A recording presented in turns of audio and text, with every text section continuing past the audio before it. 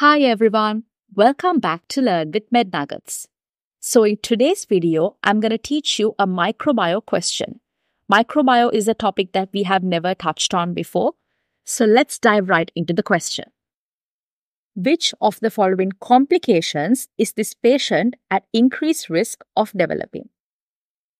A 57 year old man comes to the physician because of a three month history of sharp, shooting pains in both legs. 10 years ago, he had a painless lesion on his penis that resolved without treatment. Physical examination shows small pupils that constrict with accommodation but do not react to light. Sensation to pinprick and light is decreased in both legs, and patellar reflexes are absent bilaterally. He has an unsteady, broad based gait. Which of the following complications is this patient at increased risk of developing? So, before trying to figure out what is the complication associated with this condition, we need to find out what this condition is. What is going on in this patient, right? So, this 57 year old man is coming with a three month history of sharp shooting pains, right? So, whenever a question talks about a sharp shooting pain, it refers to neuropathic pain. Neuropathic pain is always sharp shooting, right? This kind of pain. Whereas ischemic type of pain is more of a squeezing pain, a tightening pain, right? But when it comes to neuropathic pain, it's always going to, the question will always have described that kind of pain as a sharp, a sharp pain, a shooting pain that runs um, along the extremities, right? 10 years ago. So 10 years ago, this patient had a painless lesion on his penis. So what we know is this patient had a painless lesion on his penis and now he's having neurologic signs and symptoms. Right? So what's the diagnosis? This is syphilis. Right? An ulcer on the penis and neurologic signs and symptoms points us towards a diagnosis of syphilis, right? Now, the question is what is the complication associated with syphilis? So let's move on to the answer options, right? Um, first option, option A is atrioventricular block. Atrioventricular block can be seen in conditions like Lyme disease, and infective endocarditis. Atrioventricular blocks cannot be seen in syphilis, right? So that is wrong. Option B, mitral valve regurgitation. Mitral valve regurgitation can be seen in conditions like rheumatic fever, right? Rheumatic fever can also cause neurologic signs and symptoms, but the most characteristic neurologic um, condition that is caused by rheumatic fever is called Sydenham's chorea, right?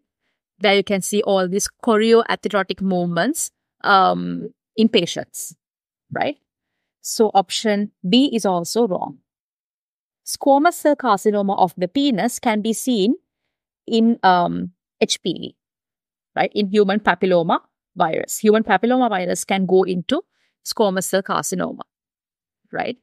And also in human papilloma virus, you um, get these raised cauliflower like lesions.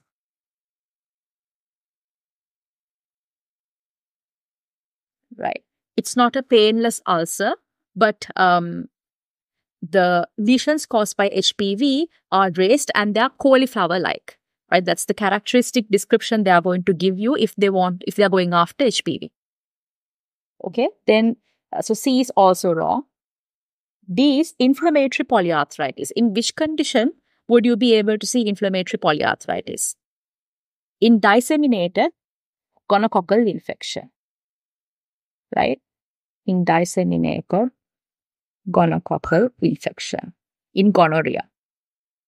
You can easily remember the features of disseminated gonococcal infection with the mnemonic STD.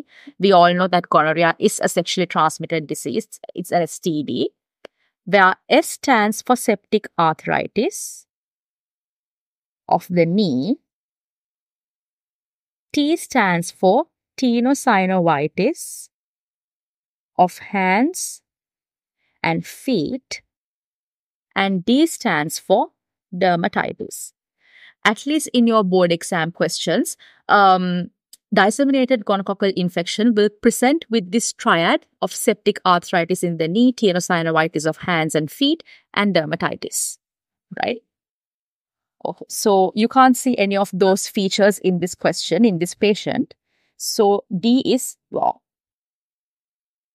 Option E, septic embolism in the cerebral artery. Septic emboli can be seen in infective endocarditis, mostly in left-sided infective endocarditis, which is commonly caused by organisms like Staph aureus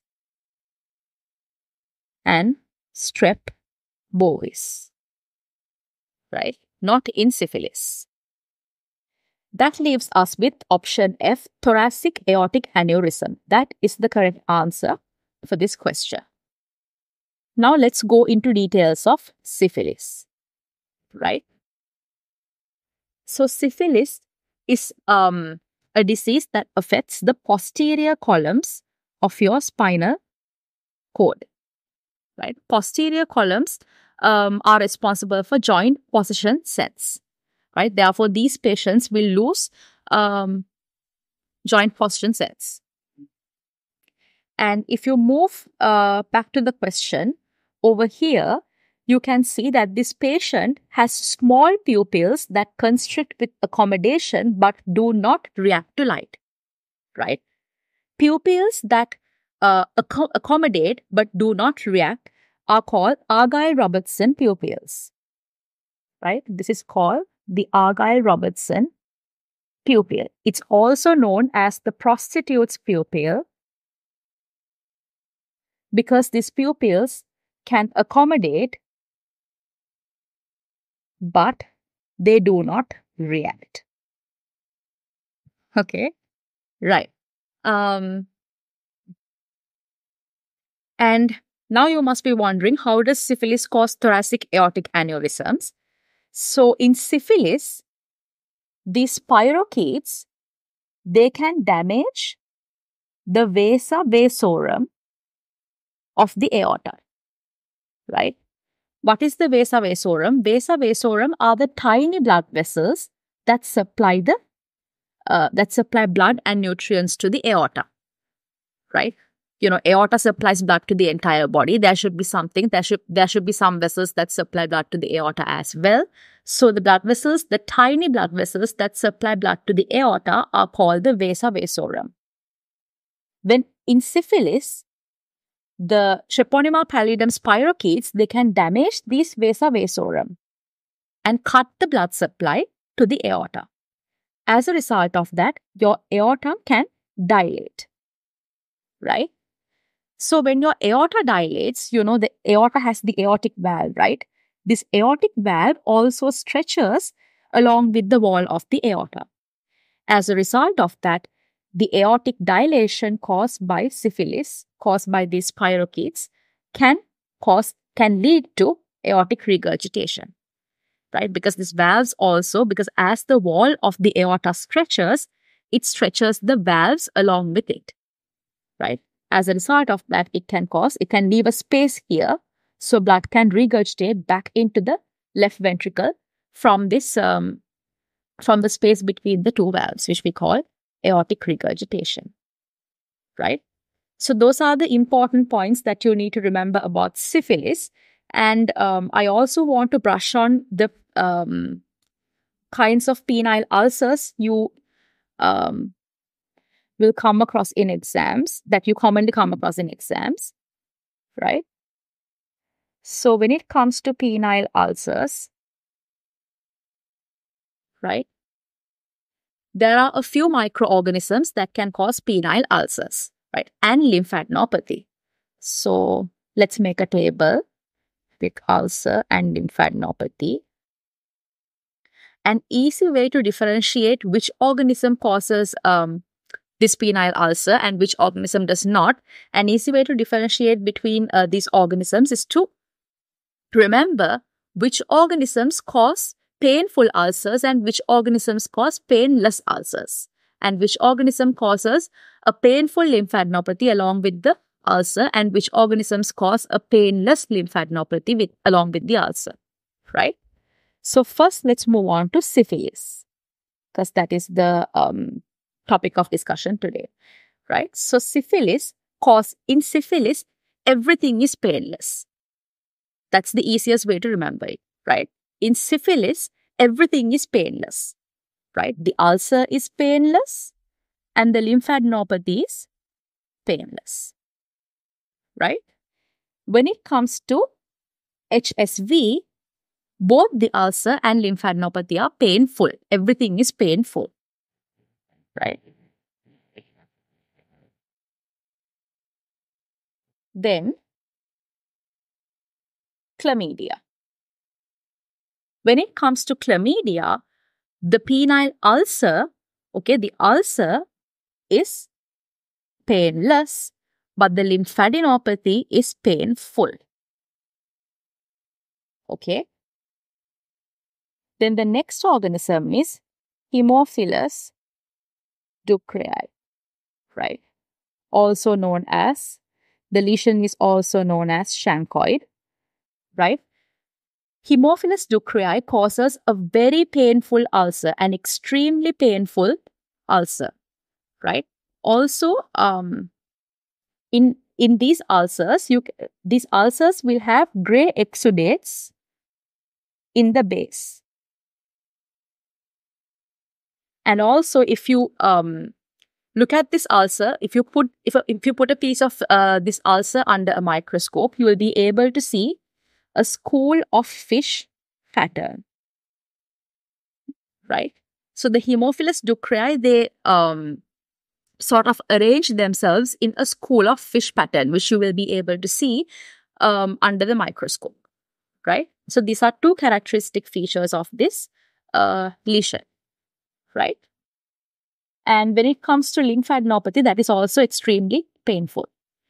Right? Since um, HSV and Haemophilus ducreyi, they both can cause painful ulcers and painful lymphadenopathy.